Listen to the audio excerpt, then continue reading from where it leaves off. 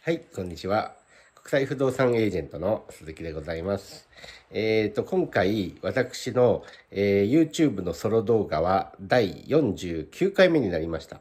で、今回初めて、えー東京の自宅以外の場所での収録になります。え今来ているのは軽井沢です。えっ、と、まあ、弊社の、まあ、合宿イベントで、えー来ております。あのーもう一晩過ごしまして、二日目の朝です。えーここ軽井沢はですね、まあ、まだまだ東京が残暑で厳しい暑さでやっぱりクーラーを手放せない。まあこういう時節にありましてもですね、まあ軽井沢に来ると本当にクーラーいらずですね。もう気温も22度とか24度ぐらいですね。でも本当にあのー窓を開け放すと気持ちいいですね。涼しい風が入ってきてですね。本当に気持ちがいいです。はい。えっ、と、サードオフィスの施設内、ちょっと見てみますが、ちょっとさっきまで私が、えーここで寝ておりました。はい。このように宿泊もできます。このウォーキングクローゼットですね。はい。もうすごくこのウッディな感じでですね、これ全部ですね、えー長野県産材をつく使ったですね、かなり贅沢な、はい、あの、施設になってます。えーここでまあ、あの、お仕事もできます。で、こっち行くとですね、洗面台と風呂があります。こんな感じです。このお風呂なんかもですね、本当に、ここがリビング。こちらがですね、このリビングの中のこの、まあ、土間を使ったですね、えーくつろげるスペースになっております。ちょっとこれピアノ、キーボードが置いてますけど、これ今回のイベントでレンタルで借りてきました。私ピアノ弾くのでですね、ここで、まあちょっとあの昨日 演奏会みたいなのやっておりました。はい。このリビングに戻って、で特に私が好きなスペースはここです。あ、いいです。こんな感じです。なんかあの昔の LP 版のレコードがここでかけられてですね。はい。なんかすごくいい感じの空間になってます。はい。えー、本題に行きますね。はい。今回のテーマは、えー日本にいながら海外不動産が買えるの？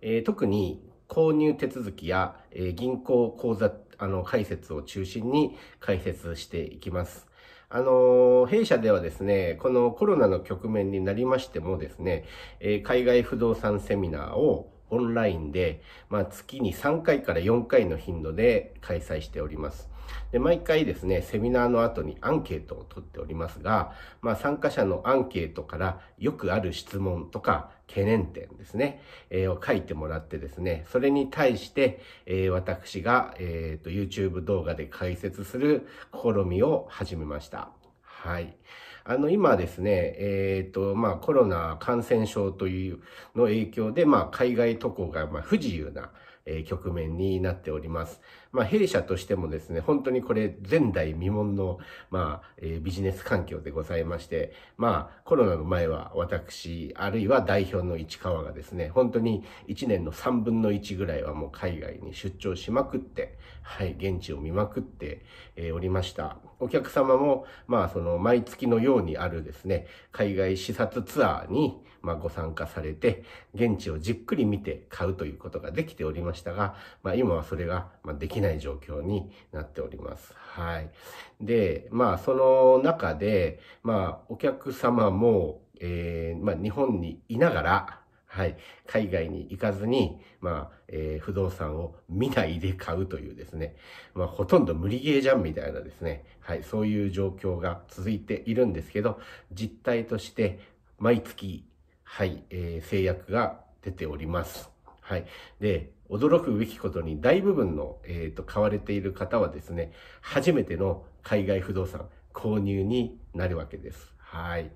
まあ、あのまあ、そういう状況の中でですね、やっぱり現地に行かないで、えー本当に、えー不動産の購入手続きができるのか、まあ、あるいは銀行口座の開設が現地でできるのか、まあ、そういう不安が出るのは当然だと思いますと。はい。で、私が、まあ、日々この仕事をやっている中で、はい、お答えしますと、まず、購入手続きに関しては、日本にいながらできます。えー、限りなく100%日本にいながらできます。という答えになります。あのー、典型的なですね、不動産購入手続きはですね、まあ、世界のどの国にあっても、えー、基本的な形は一緒です。えー、主に6段階あるんですけど、まず第1段階は予約。つまり、まあ、購入意思表明ですね。えー、日本でいう買い付けを入れるという、そういう、はい、段階になりますが、まあ、通常は、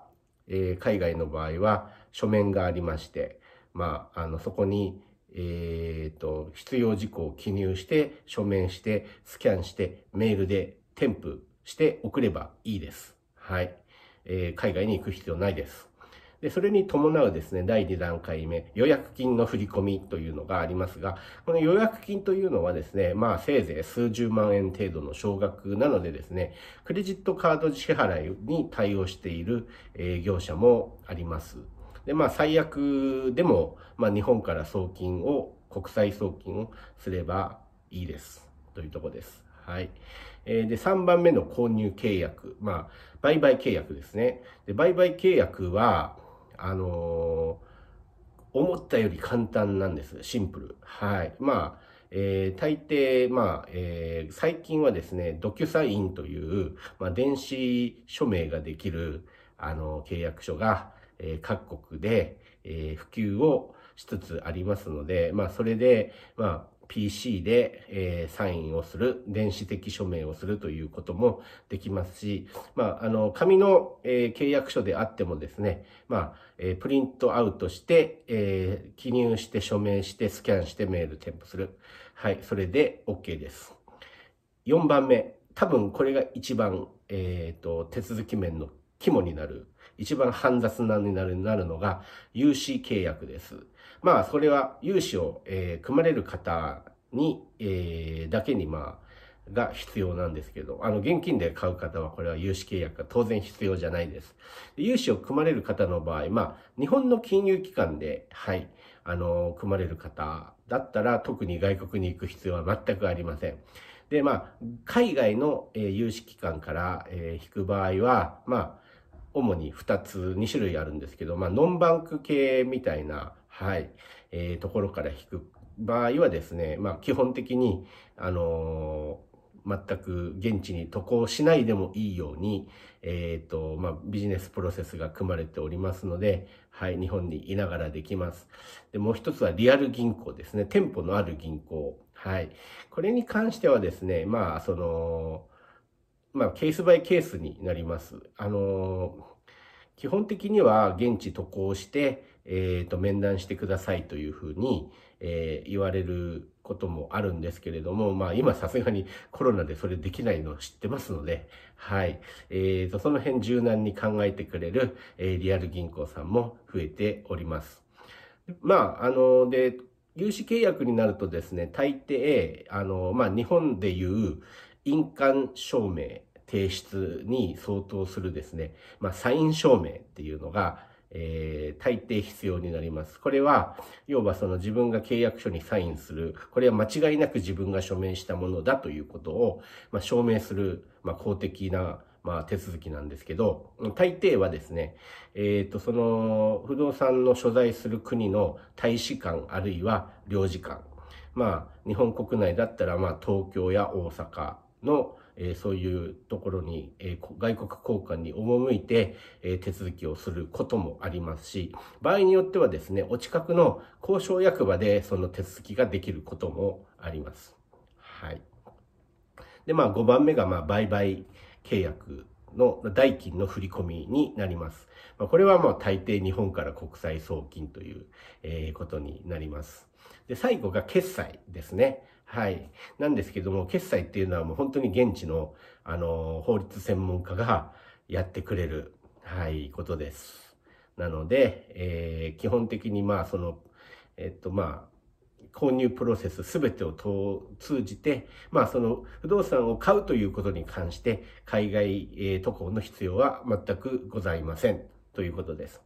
でちょっと今、えー、少し悩ましいのはですね、えー、海外送金。はい。えー、要するに日本から海外に送金する場合に、え、ー、と、その資金の出所を厳しく求められるという流れになっておりまして、はい。で、まあ、これで苦労されてる方も多いと思います。これは別に日本だけの問題じゃなくて、本当に世界的に、あの、マネロン防止という観点から非常に厳しくされちゃっておりますので、まあ、その、資金は、まあ、特に、えっ、ー、と、まあ、サラリーマンの方で毎月、その、えっ、と、給料が振り込まれてるみたいな状況がある方は証明はしやすいんですけれども、まあ私みたいにまあ事業をやって、まあ現金収納も多かったり、はい、えー、する人間にとってはちょっと厳しいので、まあ私なんかも送金しやすいように、もうできるだけ、えっ、と、まあその入ってくるお金に関してはまあ銀行に入ってくるという履歴を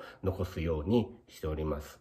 あと、まあ、えっ、ー、と、銀行窓口だけじゃなくて、今はトランスファーワイズみたいな、まあ、送金サービスがあったりして、もっと手軽にできます。まあ、ただ、トランスファーワイズの場合は、1回100万円までという、その、送金額の制限があります。まあ、あるいは、えっ、ー、と、KVB のような、えっ、ー、と、FX プラス国際送金を、えー、セットにして提供しているような、え、金融会社もありますので、まあそういう、えー、会社を、え、使う方も、え、おられますということです。はい。で、次に、こう、現地国の銀行口座が日本で作れるかということなんですけど、これはイエスである場合もあり、ノーである場合もあると。えー、国による、時と場合によるというかん、え、ー、と、まあ、お答えになりますと。はい。で基本、現地の銀行口座って、本当にコロナ前までは、原則として現地国に行って、た、行った時に開設するのが当たり前だったんですね。で、まあ今年の2、3 2月3月まではまあ皆さんそうしていたわけですが、まあ今はコロナの状況になりまして、まあ状況が変わりつつあります。で、まあ、あの、元から、えっ、ー、と、日本にいながら海外の口座を開設できる、えー、ケースもありました。まあ、例えば、アメリカのカリフォルニアにあるユニオンバンクという、えー、銀行がありますが、これは、えー、日本の三菱 UFJ 銀行の、まあ、子会社になっておりますので、えー、三菱 UFJ 銀行の店頭で、えっ、と、そのユニオンバンクのあの口座開設ができるので、えっ、ー、と、海外渡航は一切必要ありませんということです。あとは、イギリスですね。イギリスはですね、まあおそらく世界で一番、まあその口座開設代行会社みたいな、そういう金融サービス会社がたくさんある国ですのでですね、えー、そのイギリスの、まあそういう代行会社を通じて、イギリス国内、あるいは時には香港とかの、えっ、ー、と、講座を、まあ、えー、現地渡航せずに、えー、代行しますよという、そういうサービスを利用することもできますと。はい。で、まあ、あの、その他の国に関しては、そんなに、えっ、ー、と、講座開設が自由にできるわけではありません。ただ、ぶっちゃけですね、現地の口座開設ができなくても、賃貸経営は可能なんですね。はい。まあ、あの、まあ今はもう現地の各管理会社さんもですね、まずそのお家賃収入を、えっ、ー、と収納をして、それを半年に1回とか、1年に1回とかの頻度で日本に国際送金しますよという、えー、そういう会社さんがどんどん増えていますと。はい。まあみんなですね、コロナで、えー、世界中が同じ状況になってます。日本だけじゃなくても、どこでも、え、海外渡航、まあ、できないのをみんな知ってるので、はい。えー、それを前提としたいろんなサービスを、まあ、やらざるを得ないし、まあ実際にやっているということなんですね。はい。で、このコロナの、まあやっぱり今の海外渡航が不自由な状況が永久に続くわけではないですよね。やっぱりいつかは将来時点で、まあ、あのー、今までのように海外渡航ができるような時期が必ずやってくると思いますが、まあ、その時になったら、まあ、現地に行って講座を解説をしてくるということが、はい、大事かと思います。で、その場合ですね、えっ、ー、と、弊社は、えっ、ー、と、シティコンシェルジュという、まあ、現地に住んでて、まあ、日本人、あるいは日本語が喋れる外国人で、まあ、弊社の、まあ、えっ、ー、と、ファンクラブではないですけれども、まあ、弊社と協業して、まあ、いろいろ、その、現行講座開設とか、えっ、ー、と、ご、現地のご案内とか、いろいろなことをお手伝いしてくれる人たちが、えー、世界中におりますので、まあ、えー、彼ら、彼女らの、まあ、えっ、ー、と、助けを借りて、はい、えっ、ー、と、現地を見ながら、はい、講座を解説してこられるといいかと思います。はい、えー、今回の YouTube 収録はこれで終わりいたします。チャンネル登録よろしくお願いします。それでは軽井沢より、はい、えー、皆さんさようなら。